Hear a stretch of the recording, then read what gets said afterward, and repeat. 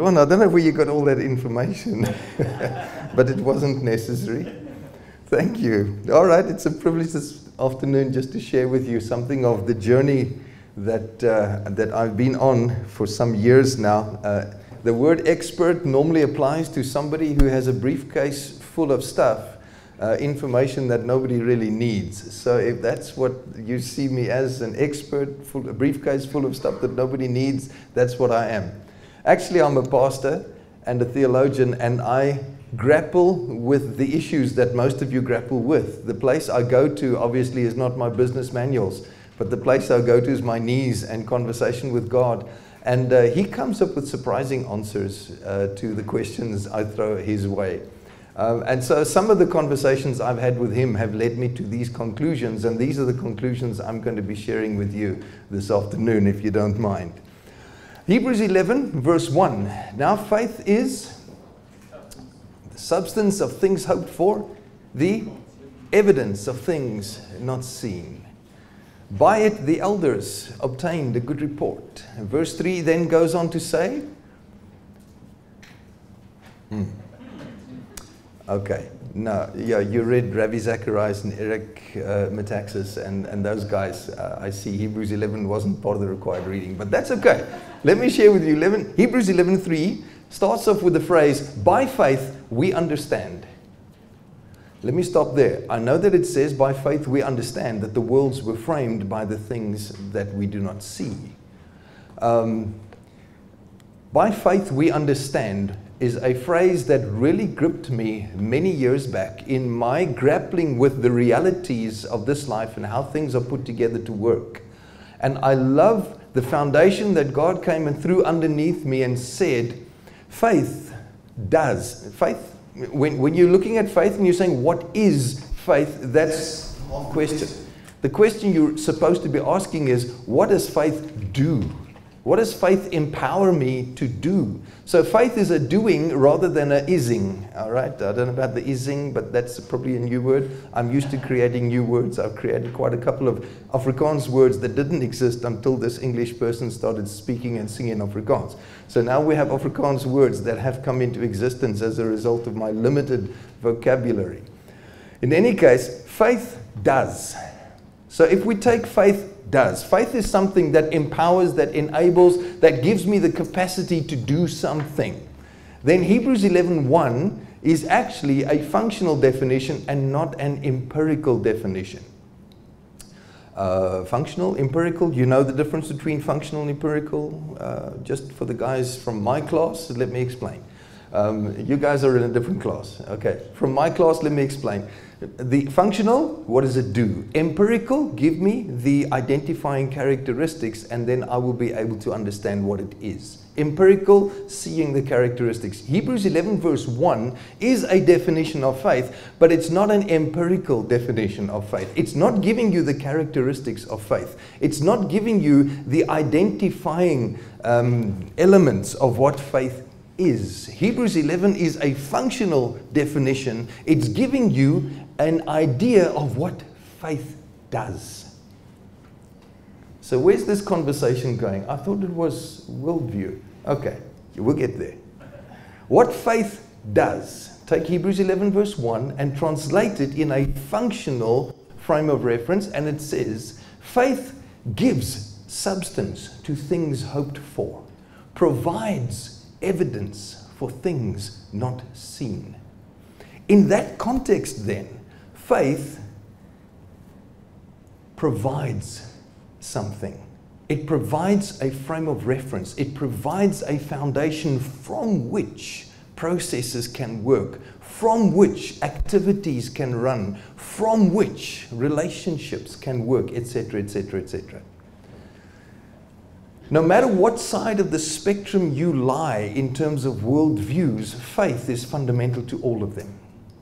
Because faith provides the foundation from which you begin to engage with your world and the things that you consider to be real and relevant. The worldview of the believer is rooted in his faith in Jesus Christ. So the person of Jesus Christ becomes the central figure to the worldview or for the worldview of the believer. We don't begin with an empirical um, definition looking for the identifying characteristics that will make this worldview a Christian worldview. What we do is we start with Christ and we work from the revelation of who He is and what He's busy doing. And the worldview that he worked from then becomes the worldview that I embrace and from which I then begin to engage my world. So, the question today that we're going to be discussing is not what is a Christian worldview or what does a Christian worldview look like. That I'm going to tell you, and we're going to look into that. But the question that you need to answer for yourself is how does a Christ centered worldview set me up to engage meaningfully with my world. Hopefully, that will also be the answer as we have come through this conversation. By faith, we understand. Worldview, it's the sum total of the beliefs about the world. And here is the active part of it that directs our daily actions, that it's the way of seeing and comprehending all reality. I love the comment that C.S. Lewis made in terms of Christianity or the, cent- the centrality of Christ. He says, I believe in God as I believe in the Sun. Not be- Sun is UN, okay? I believe in God as I believe in the sun. Not because I can see the sun, but by the sun I see all that is. I believe in God not because I can see God, but because the light that comes from His presence, His nature, His character, because that light causes me to see things as they truly are. So, a worldview sets me up to be able to perceive accurately, and it sets me up to be able to engage meaningfully from the correct perspective with the world that I am finding myself in. A worldview, um, as um, Al Wolters, in his book Creation Regained mentions, and Timothy Keller loves uh, quoting Al Wolters. there's a couple of um, pretty much almost parallel passages between the two writers that are found in, in their works. A worldview orients us in the world at large. Faith, by faith, we understand when we perceive what is happening in the spirit world, we can accurately interpret what is happening in the natural world. By faith, we understand. So our worldview orients us in the world at large. It, uh, it shapes the way we assess the events, the issues, and the structures of our civilization and our time. And the comment that I love that he makes here, he says, the need for a guiding perspective is basic to human life strangely enough, basic to human life, not necessarily to the animal world, etc., around us, but it's basic to human life. Our worldview, therefore, then, coming just coming from this perspective, our worldview should actually then be foundational to our behavior. I remember Dallas Willard in conversation with um, some key um, Christian leaders at the time. They were bemoaning the fact that Christianity, or particularly in the Western world, Christianity is, had become a religion of mental acknowledgement and assent where they acknowledged and, and, agreed that certain things were true, and yet the behavior of Christians in that particular sector of society that they were discussing was everything but biblically founded, Christ like, etc. And this, this, this one leader was saying to Dallas, Dallas, why is it that Christians don't behave in accordance with what they believe? And Dallas Willard said, but they always do. Everybody does. We all behave in accordance with what we believe. The challenge is not that we believe one thing and behave in another way. The challenge is what we say we believe is not necessarily what we truly believe.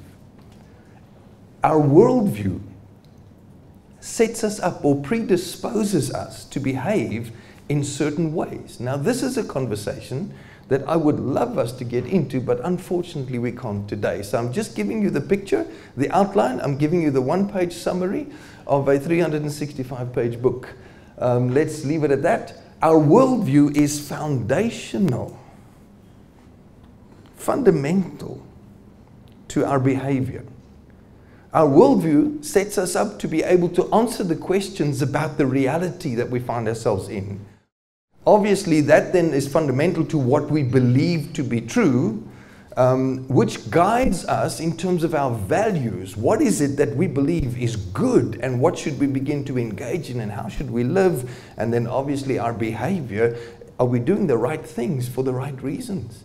And are we doing things right? Those things that are right, are we doing them right? So, listen to one of the, one of the um, paragraphs that I picked up here. Today's Christianity as an agent of change has been sadly ineffective in bringing about meaningful structural change and moral regeneration in a secular society. And it probably never will, as long as a dualistic or a secular worldview is being embraced as something to be valued and upheld by church and society alike. As 21st century Christians, we need to return to the conviction of the church's first century fathers, moving away from attempting to teach biblical principles to people whose lifestyle is rooted in a non biblical worldview. We need to challenge the worldview itself. It's not good enough to teach people biblical principles if we're not going to challenge the worldview from which their beliefs, values, and behavior are progressing. Phil Cooke says, I need to remind myself regularly that as a Christian, I can't expect to change the culture until I'm ready to challenge it. Now, questions, comments? None yet. Okay, this is one of those conversations where I'm not the only one speaking. I know that you're busy with a conversation in your head. Um, I know you're busy with that. Uh, you're welcome to let me hear some of that if you feel it's relevant. Otherwise, we take the next step, we change gear, and we move into worldview per se. Introduction, done and dusted. Cool. Next, I know that in our pluralistic uh, 21st century world, we actually have a variety of options in terms of worldview. I think there's a huge segment of the world that is living with an understanding that this world is actually monistic. There's one reality. Whatever it is that you choose to name it, and whatever compartment or facet of reality you're engaging with, it's actually one reality the totality of life. God is, life is, man is, earth is, everything is one, or monistic approach to dealing with the world. Unfortunately, there are too many people in this world who realize that that is limiting, and uh, particularly when you step into the metaphysical, the non physical side, uh, it, it really takes you to places you don't want to be. But let's not stop there. The dualistic worldviews that our Western societies have come to be fairly well acquainted with um, are fairly popular and widely accepted. And, and that predisposes us, obviously, to categorize things in pretty much two categories. It's either or, it's one of. Um, it, and it's light or it's dark. The challenge with that, unfortunately, is that a lot of stuff that has a moral foundation is being mixed into something that has a physical nature. For example, light and darkness. Now we're taking light and darkness into the moral framework and we're saying, uh, certain things are light, certain things are dark, certain things are right, certain things are wrong. And then eventually we get to the kinds of conclusions that that which is physical is wrong and sinful and evil, and that which is spiritual is light and it's right and it's good. And, you know, and then, then, then we sit with challenges because the Bible doesn't work in that frame of reference at all. The Bible works with a totally different frame of reference. Strangely enough, we are dealing with a reality or a Trinitarian reality uh, fundamental to the way things are. Foundational Trinitarian worldviews, we find them foundational to Judaism. Uh, Judaism also believes in a Trinitarian worldview, and biblical Christianity as well, with Christ at the center of that worldview. The model that is the most, how should we say, that is the easiest to explain a Trinitarian worldview is the, is the model that's rooted in the understanding of how the atom works. You see those three elements that I've given you in this, uh, in this circular model, the Trinitarian model, those three elements represent the nature of the realities that we are dealing with. Genesis 1 verse 1 obviously introduces us to that. Um, Genesis 1 verse 1, in the beginning, keep going. God created the heavens and the earth. Okay, so in that one verse, we're introduced to a Trinitarian universe. In the beginning, the word beginning refers to time. Excellent. In the beginning, God refers to? Okay, that which is not limited to time, which means not just spirit, eternal. Okay. We have a reality here that is of an eternal nature a reality that is not limited to, to time. And the word beginning, in and of itself, refers to both of those elements. Beginning refers to the time beginning, but then it also refers to there was a time when time did not exist. Uh, if you could, all right. Not, yeah, there, there is such a thing as a plastic glass. There was a time when time did not exist. Okay, good. We'll, we'll move on from there. So there's an eternal reality, and there's a time based there's a reality of which time is part, okay? In the beginning, God created. Interesting. The concept creativity comes to the fore here. There's no such thing as creativity unless there's personality. Um, personality and creativity go together. No personality, what you have is not creativity, what you have is chance, uh, happenstance. Uh, it's not creativity when something happens and something new comes to the fore, you can't say that this is creativity at work unless there was personality behind it. The creativity side, the personality side of this thing comes to the fore in the individual God who is in, of an eternal nature. In the beginning, God created the heavens and the earth. Here you have time, beginning, heavens and the earth, space and matter. We have time, space, matter. We have a Trinitarian construct which is physical, real, physically real. So we have a reality that is of an eternal nature. We have a reality that is of a physical or practical or biological, whatever logical you want to call it, nature. And you have a reality that is of a personal nature in the person of God who reveals himself as creative and creator. Okay? Biblical Christianity takes this one step further and puts Christ at the center of all of that. Saying that Christ is the one who holds this all together. Christ is the one from whom all of this activity is being carried out. Christ is the one who is sustaining all of this. So, the worldview of, of biblical Christianity takes us there. Human beings are designed to live within this Trinitarian construct of what reality is all about. Jesus seems to think that he is the center of all things. Um, we can go into that later. We don't have to go into that now. So how then are we then, as human beings, supposed to live within this Trinitarian construct of what reality is all about, with Christ at the center? Well, we fit into that. When we embrace this as being true and valid and the place from which we function, we get to live a supernatural, supernatural emphasis, not necessarily on natural or super, but emphasis on supernatural. We get to live a supernatural life within a Trinitarian, Christ centered worldview. Okay. Everybody's still on board. That, right, we've gone through second gear. Now we're going to pick up pace. Is that okay? Uh, do we slow down? Um, questions, comments yet? All good? All right. Guess what? guess what happens when you choose not to work from this frame of reference? When you decide that this whole thing of spirituality is ridiculous, there's no such thing as spirit beings.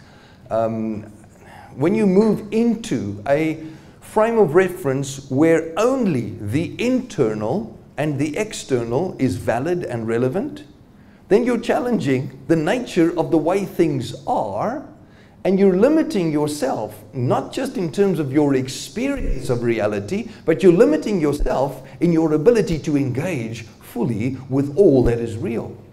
You're stepping away. You're dumbing yourself down.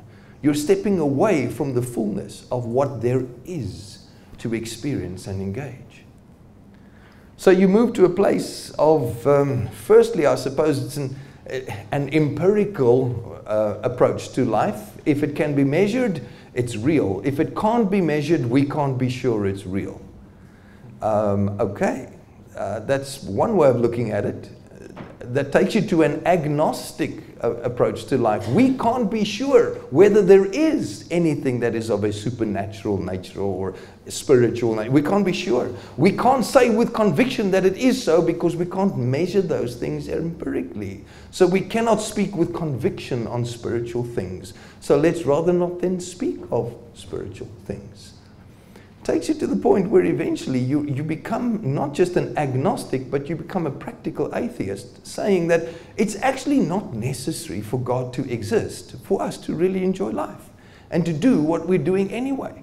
Um, and we approach, the, we approach reality from that perspective. We become the losers when we move in that direction. Great conversations to have, but let's put the pause on that conversation there we find ourselves actually busy with superficial living. When we decide that my choices and the uniqueness of the way I have been constructed and my human motivation, my intellectual capacity, and so on and so on, is actually irrelevant in the larger scheme of things. I may have desires and needs, etc., but they are actually in conflict with what's happening in the greater scheme of things. And so the problem is that I am not in alignment with reality as it is. I'm the odd one out here. And most of the religions that work from that frame of reference will tell you the solution lies in losing your desires. Um, actually, not just denying them, but, but getting rid of the ability to desire is actually a release and a relief. Uh, that takes you into the way nature or the creation is supposed to be. Your primary concern then is making things that are of a spiritual nature and things that are of a practical nature, making them work with each other. Now, most of you know that uh, atoms are actually weird things. Um, they, they're not really, they're not friendly because they're charged in opposition to each other. The, the three electrons that I have around this atomic model here, the three electrons are all charged in such a way that they repel one another. And the thing that's in the middle is holding everything together because it's charged oppositely to the three that are repelling each other. So they're being drawn to the center, but they're repelling each other. So there's tension in this model. Uh, that's true to life. There will always be, always be tension in a Trinitarian universe the challenge that most people are sitting with is let's make eternal and external, let's bring harmony there. Let's make these two realities work together. You can't. They are of a different nature. They will always be, in a sense, against or in conflict with one another. The rules or the Uh, the foundational principles that govern eternal things and the foundational principles that govern external or practical things, those principles are unfortunately not the same. So if you're trying to bring harmony between the two, uh, you're going to find yourself busy and you will never get to the conclusion that you want. What most people in this kind of approach to the world choose to do is to find somebody who can help them to at least manage the tension between those two realities. And that's where things like churches and priesthoods and whatever have seen an incredible gap for financial gain, and they are filling that gap with gusto. And it's become an economically viable opportunity to manage the tension that people experience between spiritual things and practical things. But you find yourself living in a fairly dualistic, animistic world as a result of that. Okay, great conversation to have further, not now. The third kind of approach that some people rather embrace is say, listen, this stuff that's in the world, the practical, physical things, those things are actually not the things that are going to last. The things that are going to last are the eternal things and me, who I am as a human being. This is going to last. So let's focus on the things that are going to last and let's ignore the things that are passing. So you find yourself in a very uh, super spiritual worldview, and these are the kinds of people that Jesus really did not have much time for. Um, they were the guys who were approaching life from a specific angle, and he was constantly in conflict with them. Um, why raise people from the dead? I mean, they've actually found release from this thing that was destroying the quality of their lives, this body. They've, they've actually found release from circumstances that are negative, and now you raise them from the dead. Why would you want to do that? Because Jesus is working from a totally different paradigm to what they are working from. See, you need to embrace all three of these realities. You need to know that they're going to be in tension with each other. You need to avoid the temptation to try and manage the tension that there is. And you need to position yourself in such a way that you are at the source of power that can work with all three of those realities at the same time. You see, because in Jesus Christ, who said, I am the way, the truth, and the life, no man comes to the Father but by me in Christ, we find ourselves positioned to be able to engage fully with that which is eternal, that which is spiritual, that which is divine, that which is godly. We find ourselves set up to engage fully there. In Christ, we also find ourselves engaged with what it really means to be fully human. Jesus himself was the epitome of what it means to be fully human. And Jesus, who is the creator, set up the physical framework in which we live our everyday lives. He's the creator of this world. Maybe I should not use the phrase world because it could become confusing. He's the creator of the earth, the heavens and the earth. If you want to differentiate between earth and world, you're welcome. So let's gravitate towards Christ being the creator of the earth, uh, world in that sense, all right?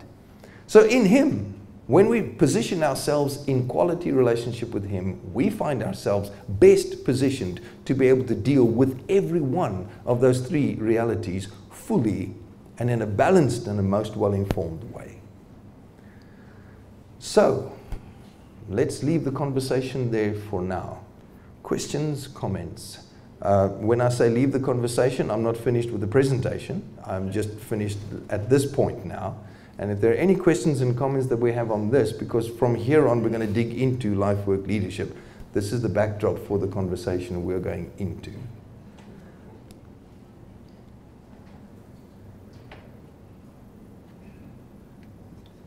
No questions, no comments. Okay, some of you, this conversation that's in your head is going in the direction, come on, fella, get on with it. We've got a whole program ahead of us here. Let's get on with it then. To build your life on a Christ centered Trinitarian worldview is to be in alignment with the way Jesus saw things. In, in John 5 39 and 40, you remember that conversation. I have it here in the message uh, where he says, um, You have your heads in your Bibles constantly because you think you'll find eternal life there, but you miss the forest for the trees. These scriptures are all about me, and here I am standing right before you, and you aren't willing to receive from me the life you say you want. Matthew 7, he wraps up his Sermon on the Mount and that whole conversation about prayer and fasting and giving and so on. In Matthew 7, he wraps that up with these words in the message, Matthew 7 24. These words I speak to you are not incidental additions to your life, homeowner improvements to your standard of living. They are foundational words, words to build a life on. And then in Matthew 24, when he wraps up the whole prophetic discourse, he says, Heaven and earth will pass away. That's a, that's a great statement. Heaven and earth will pass away. I remember the day I came to my dad and finally told him what I was going to do with my life. Um, I said to him, I'm going to study to become a pastor. He was quiet for a moment or two and he said, I think that's a safe option. I was, I was kind of surprised. I, I kind of expecting a different response. I asked him, no, why do you think it's a safe option? He says, well, if I understand the Bible correctly, at the end of time, the only institution that will survive is the church. So if you're going to be working for the church, you're going to have job security even throughout the tribulation. Jesus said, Heaven and earth will pass away. That too is a prophetic statement. He's, make, he's He's putting a sell by date on the physical reality that we are engaging with day by day. Heaven and earth will pass away, but my words will not pass away.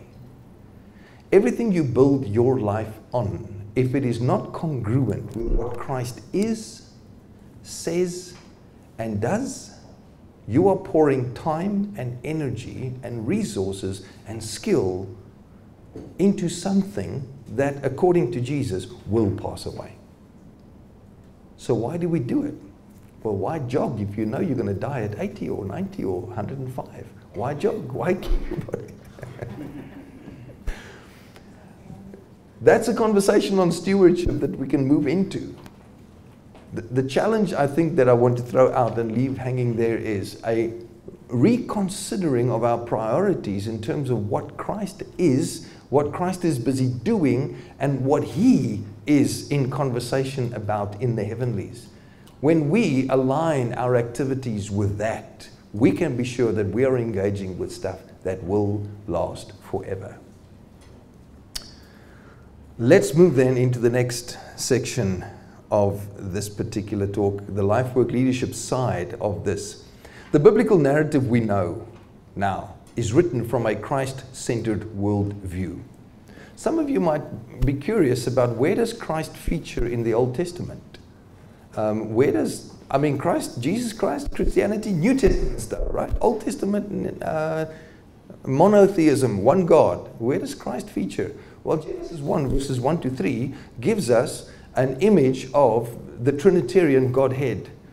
Uh, Genesis 1, verse 1 In the beginning, God, Father, created the heavens and the earth.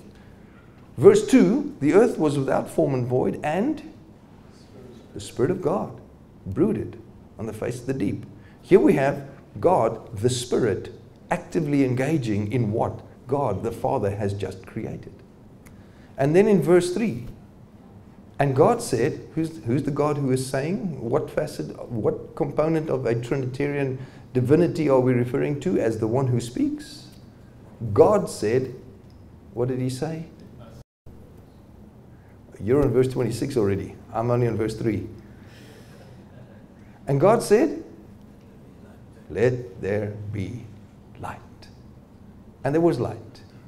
Now, Paul comes in 2 Corinthians 4, verse 6, and he makes that connection for us. He says, The God who said, Let there be light, caused that same light, which he caused to shine in Genesis 1, verse 3, he caused that same light to shine on our hearts, into our hearts. And the source of that light that has shone into our hearts comes from the face or the presence of the person of Jesus Christ. So in Genesis 1, verse 3, we are introduced to Jesus Christ, who is the foundation of all that from here on out practically is going to come into existence. Light is the foundation. Light, energy, is the foundation of all that is practically and physically real. Christ is foundational.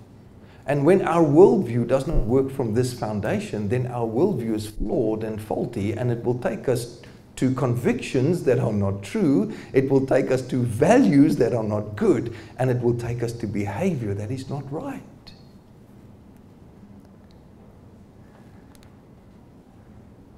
In the master plan that we find in Scripture, we find that the overarching, overarching truth behind all of life is that Christ is to be revealed.